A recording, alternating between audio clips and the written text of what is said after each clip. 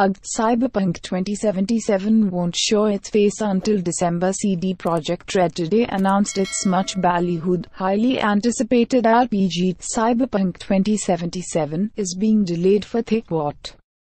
Third or fourth time? I've lost track at this point.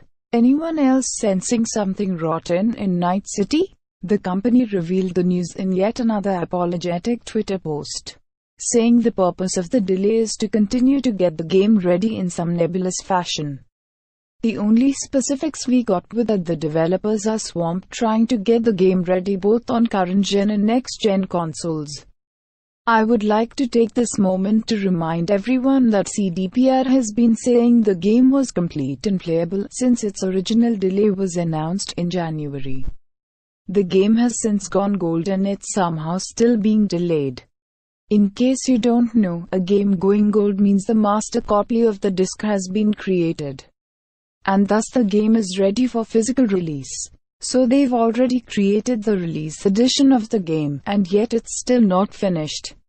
I'm aware that, in this day and age, games come with massive patches on release.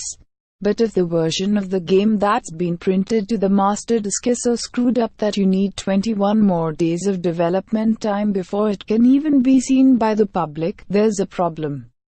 Cyberpunk 2077 has been in development for over 8 years at this point. Sure, it's not been regular development, but it's still been in the works for quite some time for CD Projekt Red to keep kicking the can further down the road, something just feels wrong about this.